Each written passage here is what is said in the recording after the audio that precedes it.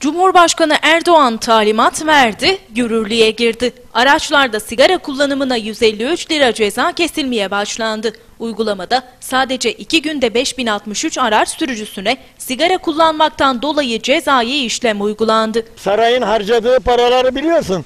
Ee, Yüzde 156 iken yani yüzde 156 artmış ne oldu?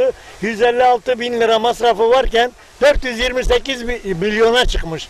E bu kadar masraf olursa tabii ki sigara içenlerden de para alacaklar. Yolda yürüyenden de hava soluyandan da para alacaklar artık. Bir bu eksikti zaten milletimize. Ne yapacaklarını şaşırdılar. Nasıl söğüşleyeceklerini şaşırdılar milleti. Bu şekilde söğüşlüyorlar. Hayırlı uğurlu olsun hak ederiz. Valla bence mantıklı değil.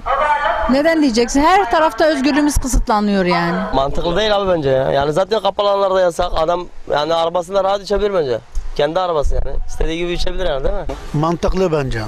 Neden? Arabada yani ha cep telefonu kullandın ha sigara içtin. Aynı şeye geliyor.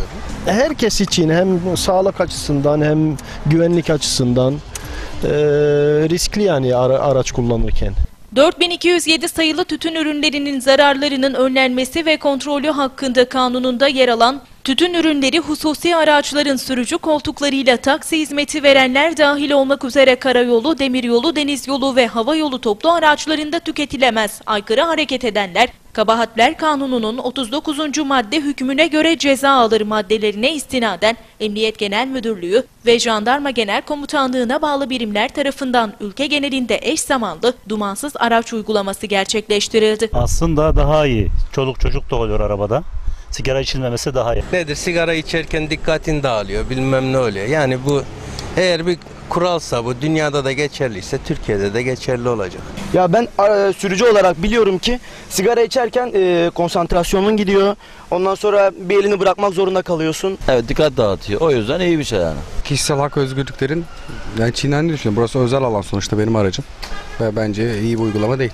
Uygulama araçlarda tütün kontrolü denetimi yapmak, aranan şahısları yakalamak ve suç unsurlarını ele geçirmek amacıyla karayolu ve deniz yolunda gerçekleşti. Ülke genelinde 9419 karma ekip, 169 dedektör köpek ve 37065 personelin katılımıyla yapılan uygulama sonucunda 5063 araç sürücüsüne sigara kullanımı kabahatinden idari para cezası uygulandı. Valla bunlardan daha önemli sorunlar var şu an ülkede. Onları halletseler bence daha iyi. Zaten her şeyden ceza alıyorlar yani her şey zamlandı, her şey pahalandı. İyi olmuş.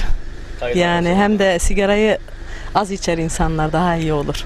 Ya sağlık yönünden aracın hem rahat şey için, için için temiz kokar. Direksiyona kontrol edemiyorsun sigara içtiğin zaman. Yola dikkat dağılıyor. Sigara kullanımı kabahatinden 5063 araç sürücüsüne toplam 861 bin lira ceza kesildi.